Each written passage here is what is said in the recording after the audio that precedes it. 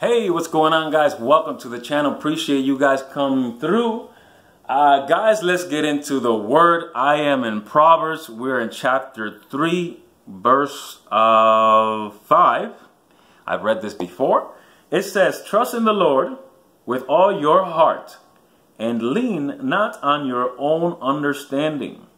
In all your ways submit to him and he will make your path straight. This is a great word. Um, I've read it before. Um, there's different ways that you can apply that in your life. Really important, guys. Make sure that you check the description down below where this, this where this uh, scripture is going to be in, so that you can make the time and read it on your own, so that God, so that God can um, reveal to you how you can apply this in your day-to-day -day basis and whatever it is that you're going through uh, at whatever time you're going through. Sometimes reading it more than once helps because it teaches you something new. Uh, it's kind of like watching a movie twice and you see a part, you see a part that you didn't see before. The word is kind of sort of the same way.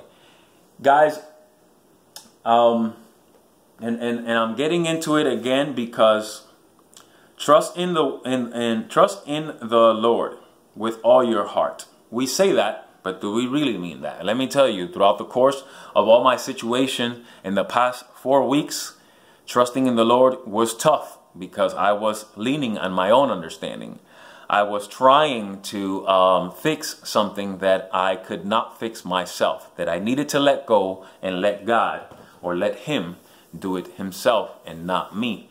And then I got to the point where I was seeking other people's advice and trying to get them to talk to me and trying to get God to talk to me through them.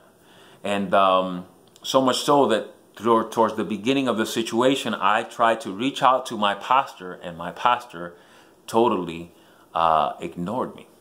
Or at least that's the way I felt. When you are hurt, guys, your feeling take control of everything that you're going through. And feelings are a chemical which changes in every five seconds. And due to whatever you are going through, your feelings are going to change based on your surrounding, based on your situation. And when you don't rationalize because you are being led by your feelings and your emotion, you don't see what is obvious in front of you. God has been with me throughout this situation, and I wasn't unable to see Him because I was so focused on how I was feeling, like most of us do when we're hurt. Um, before I went to go see um, my mom and my aunts, and that I was hurt and feeling all kinds of ways, um, I prayed to God. And as I got there and, and had conversations with my aunts, uh, my mom sat there and didn't say much. And throughout that situation, I finally opened myself to her and told her that she had the right to voice her opinion. That even though she felt that I'd never gave her the place of the mom that she is to me, uh, that that I have forgiven her and I have forgotten. And even though this situation tends to bring back that pain and wants me to use that pain that is not there anymore to justify what I'm feeling at in that situation, um, it still didn't mean that she could not voice her opinion, that I truly forgave that situation. And uh, I was able to give her release and something that she did not know that she had the right to by speaking what I had never spoken to her before, apparently. And throughout this whole situation, guys, I have been able to give other people release by helping them, by letting God use me to help them in whatever situations they have or they were going through. I was able to pray for a young man at work that I was talking to him about some of my personal situation and he confessed to me that he had gone through something like that with his brother. And um, I believe that God used me to give him some words so that he can feel that it wasn't his fault that it had nothing to do with him, his brother's decision, and no longer being with us. And uh, there was another man who I work with who also confessed to me some frustrations that he's going through and some pain that he's going through because his mom is no longer mentally with us. And I was able to give him relief uh, by letting God use me. And I was able to pray for him also at my job. I was giving back what was being what, what had been given to me throughout this course of my frustration and my pain. And God was able to use me. And I was able to let God use me through this situation because you know what? I never left God through my pain. If anything, I clinged on even harder than ever. Like I said, my mom finally spoke to me. She finally said, gave her opinion, and she told me she didn't want to say that God revealed to her that He had me, that He was in control, that He was holding him, holding me in His arms. And she told me that. And that as I let go and let God, I started realizing that God was around me this whole time by using the people that were around me to let me know that I just needed to trust in Him and not lean in my own understanding. Uh, when I went and saw the pastor and had some conversation with him from, and told him about some of my previous issues, some of my upbringing, to the present day, how I felt that I just couldn't get it straight, he gave me some great advice, use some great example of his own life to show me that you just got to be patient. You just got to trust in God, and things will happen in due time. And um, he told me at the end, when uh, he finished praying, he said, It wasn't that I didn't care. It wasn't that I didn't want to call you. It was that when I saw that message and I read it, God told me not to call you. I asked him, What should I do now? What can I do? And all he said was to pray. And that's all I did. And I have been praying for you since. But he said that he was in control. He said that he got you. So that's why I didn't reach out to you. So again, what my mom told me, the pastor also said. And when my emotions could not take control of my rationalization, because I was trying to focus in God, I realized that He truly did had me because I was able to see a lot of the things that He was doing around me through the situation. And um, what I'm trying to say, guys, is that we get caught up in our frustration, in our situation that we don't want to rationalize because our feelings don't let us rationalize. But if you read the word and you not only apply it to yourself, but you also practice what it says and you have faith. God would actually do the things that he needs to do, but you need to let go because you no longer are going to be able to fix it. God wants to be the one to fix it. And God was telling other people not to try to fix the situation because he wanted to fix it for me by himself so that no one took the credit for it but him. And I couldn't see that. He wanted to use my situation as a platform so that he and only him could be glorified for what has been happening and no one else. And I couldn't see that. Yet I had heard a preaching uh, from this uh, pastor called um, Rudy Iglesia that um, also said that when you are going through things, that's when God comes into place. That's when God shows his face because God wants to be the one for you to cling on, not no one else. And you can't get mad on other people that are not willing to help you. And it's not them, it's God not letting them, just like the pastor. Uh, and I understood that after I realized that I needed to let go. let me go into Corinthians, First Corinthians 13, and we're going to go into um, uh, 4. And it says, Love is patient. Love is kind. It does not envy. It does not boast. It is not proud. It does not, uh, what's that word? Dishonor, okay. It does not dishonor others. It, it is not self-seeking. It is not easily angered. It keeps no record of wrong. Love does not delight in evil, but rejoices with the truth. It always protects, always trusts, always hope, always preserves.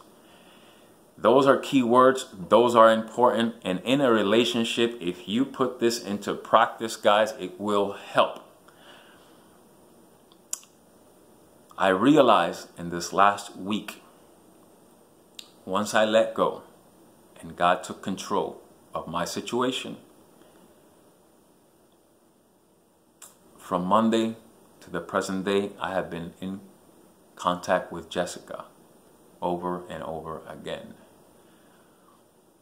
There were things that needed to be said, and we finally sat together and we put our stuff on the table and there were things that she was um, resentful and there were things that I was resentful and there were things that we thought were fixed but they weren't because we were so caught up in trying to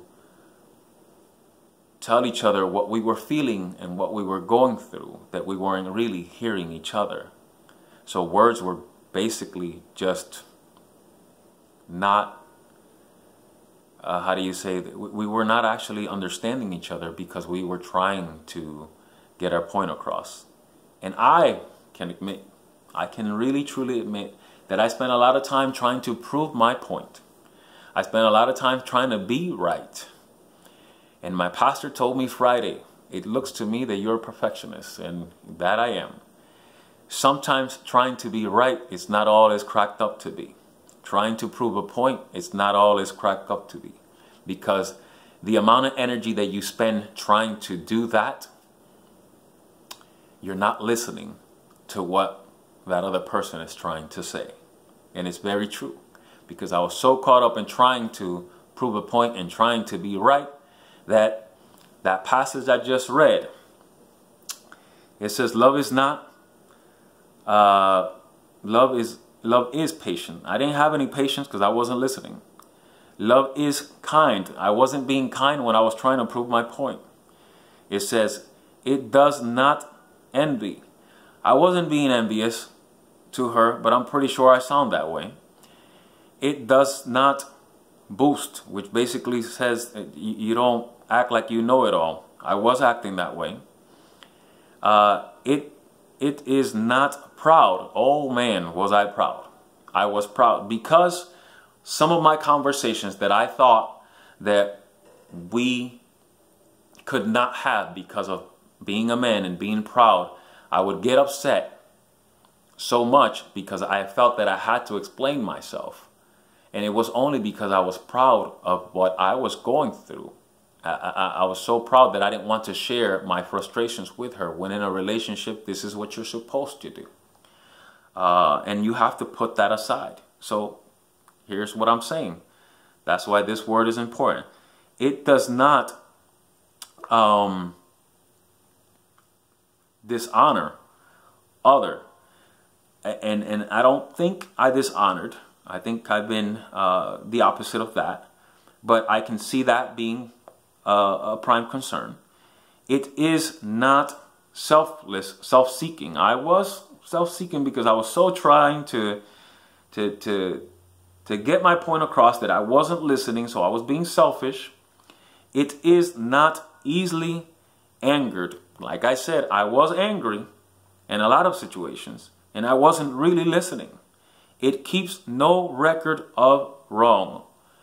Very important. If you spoke about something and you, the person apologized and you apologize to them, Do not bring that back, even if it happened two or three days ago, to justify what you're speaking about now, because one thing has nothing to do with the other, even though it validates your point, like I've done so many times. I brought a, a previous situation to the present situation to justify my reasoning, only so that I can be right. What is the point of being right if right now her feelings and what she's trying to get me to listen to is falling in deaf ears because I'm so caught up in trying to be right that I just lost the whole situation because I wasn't willing to listen. It keeps no records of wrong. Just said about that, love does not delight in evil, but rejoices with the truth. Be truthful in everything that you speak with your other relationship. Talk about things that you're not comfortable talking about. You have to do that. You're going to have to be honest because then there can be some understanding to why you're acting the way that you're acting.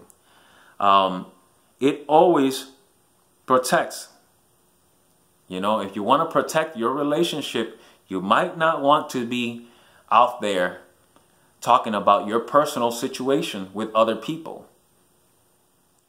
Uh, because that other person might not really understand what is it that you're going through because you're only going to tell them your side.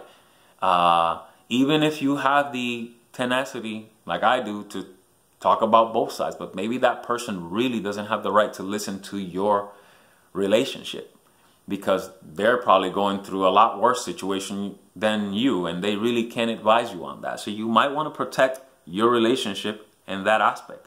Always trust always trust, always hope, always preserve. So preserving your relationship is always important. And um, what I'm trying to say with this verse that I read, if you apply these these passages that God has in the Bible in your own personal relationship, you can't go wrong. And first and foremost, always pray. Uh, first and foremost, take the time to read the Word so that God can give you revelations on the things that you're reading. Um, I have been blessed through this situation, even though it was tough. I was able to see uh, God's hand throughout the situation. Uh, I was told that I was kind of like the story of Job, that if you have not read it, take the time to read it. A rich man who had everything. Um, everything was being taken away from him because the enemy wanted to test him, because the enemy kept asking God. The only reason he remained faithful is because he has everything and you've been protecting him throughout his whole life. But let me let me get in there and start taking some of his wealth. And I believe that he will not be as faithful as he claims to be. Well, if I want to apply that story like some people told me that I'm like him, it does make sense. Um, I am wealthy because I had what I've always yearned for. I had a family. Well, let me rephrase that. I still have. I have a family. I have a beautiful woman who loves me, who cares about me, and who loves God first and foremost. I have three kids that are not mine, but because they're a part of her, they automatically become a part of me. Great, loving. So I was rich. And uh, when I least expected it, I lost it all. But what I can say, see how the story of Job relates to me is that Job remained faithful to God even though he lost it. So exactly what God knew that Job was going to do when the devil asked him, let me take this, let me take that away. Job did. He remained. So I was tested. And even though I was frustrated, hurt, I let go and I let God and I remained faithful with him. I kept looking for him. I kept reading the word. I kept listening to preaching all day, every day, as I've done since I gave my life to God. I've kept my ear close to listen to what he had to say to me, even though sometimes I couldn't apply it. But I remained faithful. I looked for him every corner that I could throughout my frustration. So, in a sense, yes, I guess I am kind of like Job. I remained, God prevailed, and we were able to sit down and squash everything. We were able to forgive one another. We were able to forget. And we're now able to communicate. And we're now able to put God first, just like we were supposed to do from the very beginning. And now we're able to put our indifferences aside and have a conversation, regardless of how uncomfortable it may be. But be quicker to listen to one another and be slow to speak and stop trying to be right. That's what I learned. That's what I'm applying. And I hope that if this video meant anything to you, if this video has spoken to your heart, share it with someone else that can benefit just like you. I pray that on this day, God blesses you and helps you throughout the day, and overall, you can become a blessing to someone else. I hope that when you're going through whatever situation you're going through, you can trust in Him. You can believe in Him. You can ask Him to give you wisdom, to give you patience, to give you favor. Things are tough, guys, and they're going to be tough, and you're going to be offended. But if you speak about whatever offense you have and you forgive each other, whoever, you can move on. Bitterness doesn't actually help. It doesn't help. It just creates more of a problem. It, it uh, fogs your vision in Christ because you're so focused on being hurt and being bitter that you can't receive what God is trying to give you or what God is trying to teach you. So if you can forget about what hurt and forgive, God can really start showing you what he really wants from you and what he wants to teach you of whatever frustration or whatever situation you're going through right now to help you grow spiritually to help you grow as an individual and to apply in your personal life. And maybe the situation that you're going through is to help mold you into a better person, to take away some of the things that is still in there that you claim that is not in there throughout the process. My pastor spoke about to me that you're kind of sort of like an onion. Every time God peels, a piece that is unnecessary and toss it away. And he's going to keep peeling different sections of you that is unnecessary and take it away. But throughout that peeling, it's going to be painful. It's going to be frustrating and you're going to be tested. But you have to trust. And overall, you have to learn to let go and let God. That's what I have for you guys today. I hope you guys have a great day. Love you and thank you for your prayers. Please keep praying for us as I will be keep praying uh, as I will keep praying for you guys as well. Love you guys. See you in the next one. God bless.